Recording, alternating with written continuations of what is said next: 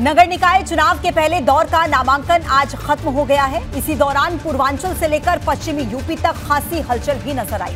अवध में भी हवा गर्म रही, बुंदेलखंड में भी आर पार का माहौल बनता दिखा। कई जगहों पर उम्मीदवारों ने जोश में नामांकन केंद्र के बाहर अपने उम्मीदवारों की बड़ी तादाद जुटा ली और इसको लेकर उन्हें कानूनी सख्ती का भी सामना करना पड़ सकता है।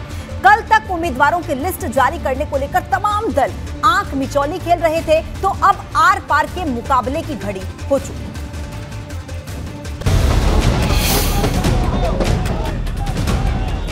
निकाय चुनाव के पहले चरण के लिए नामांकन का चैप्टर क्लोज हो चुका है। नामांकन के आखिरी दिन प्रत्याशियों का हुजूम उमड़ पड़ा। पहले चरण में 10 नगर निगम 100 नगर पालिका दो सौ नवासी नगर पंचायत पर 4 मई को मतदान होना है। पहले चरण में नगर निगम की जिन 10 सीटों पर चुनाव होना है, पिछली बार ये सभी सीटें भाजपा ने जीती थी। लेकिन इस बार भाजपा ने 10 में से 9 सीटों पर अपने प्रत्याशी बदल दिए हैं, जिससे चुनाव दिलचस्प हो गया है। वाराणसी में मेयर पद के लिए भाजपा ने अशोक तिवारी को प्रत्याशी बनाया है, जिनके नामांकन में बड़ी संख्या में भाजपा कार्यकर्ता और मंत्री मौजूद हैं। विकास विकास विकास, और केवल विकास। लेकिन कर रहा है कि बीजेपी का विकास छलावा है और बेरोजगारी के मुद्दे पर जनता के बीच अभी तो आप स्वयं देख सकते हैं, कोई अंधा भी आके बनारस में देखेगा 2014 के पहले क्या था, बनारस, आज बनारस क्या है?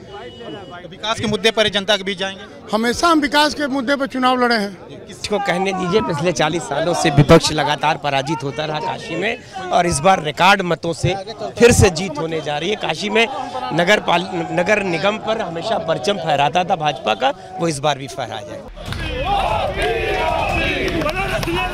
काशी की चुनावी पिच पर समाजवादी पार्टी एक बार फिर भाजपा को टक्कर देने के लिए तैयार है। मेयर पद के लिए सपा ने जिस ओपी सिंह को प्रत्याशी बनाया है, उन्होंने भी नामांकन भरा और भाजपा को हराने का दावा ठोक दिया। पूरे देश में बेरोजगारी और महँगाई चरम सीमा पर है। जो गैस के सिलेंडर साढ़े तीन सौ, चार सौ रुपये के मिलते थे, आज बारह सौ रुपये के मिल रहे हैं।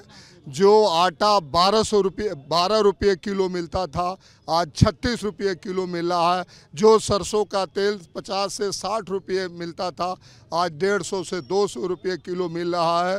पूरे देश में महँगाई चरम सीमा पर है। पूर्वांचल हो या पश्चिमी यूपी, नामांकन के आखिरी दिन हर जगह जोश और उत्साह दिखा। मुजफ्फरनगर में भाजपा प्रत्याशियों के समर्थन में कई मंत्री मौजूद रहे। मुझे लगता है कि पिछली दो बार से हम रह गए थे। इस बार भारतीय जनता पार्टी निश्चित रूप से जिस तरह का माहौल मुझे दिखाई दे रहा है भारतीय जनता पार्टी का उम्मीदवार निश्चित रूप से चेयरमैन यूपी में भाजपा पिछले कई चुनाव जीत चुकी है। ऐसे में उसका जोश सातवें आसमान पर है। विधायक से लेकर सांसद तक जीत का दावा ठोक रहे हैं। उत्तर प्रदेश में स्थानीय निकाय के चुनाव हम प्रचंड बहुमत से जीतेंगे। एक तरफ़ भगवा ब्रिगेड है तो दूसरी तरफ़ अखिलेश यादव की लाल सेना। मुरादाबाद नगर निगम से सपा के मेयर प्रत्याशी रईसुद्दीन ने नामांकन भरा और अपनी जीत को लेकर वो पूरी तरह आश्वस्त दिखे। हमारा बेईमानी के खिलाफ मुकाबला है। यदि बेईमानी नहीं होती हमारा हमें कोई रोक नहीं सकता। मतलब आपको अभी भी ईवीएम पर शक है?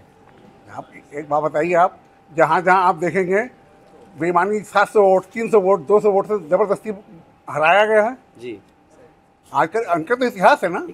सपा के लिए ये लड़ाई इतनी आसान नहीं दिख रही क्योंकि बसपा भी जगह जगह सपा का खेल खराब करने के लिए मैदान में उतर आई है। मुरादाबाद से बसपा ने भी मुस्लिम प्रत्याशी को मैदान में उतार दिया है जिनके नामांकन में सांसद के साथ साथ तमाम कार्यकर्ता मौजूद रहे।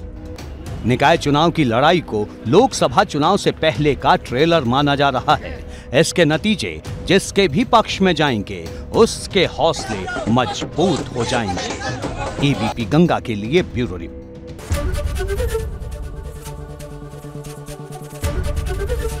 एबीपी गंगा, खबर आपकी जुबा आपकी।